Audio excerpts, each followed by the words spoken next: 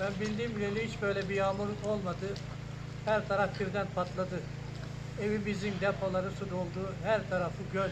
En az 80-90 santim suyumuz var. Evimize ulaşmak için bu botu kullanıyoruz.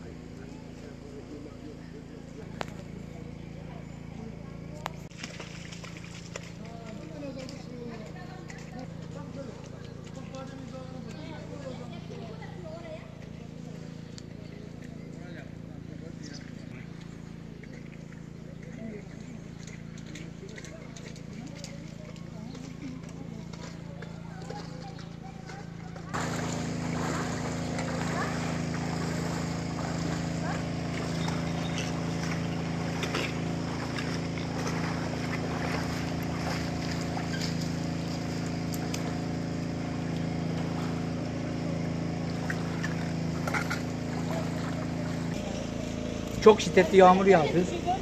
Apartlar, mandalin bahçesi, bademlikler hepsi su içinde kaldı. Biz kapıdan dışarı çıkamaz olduk.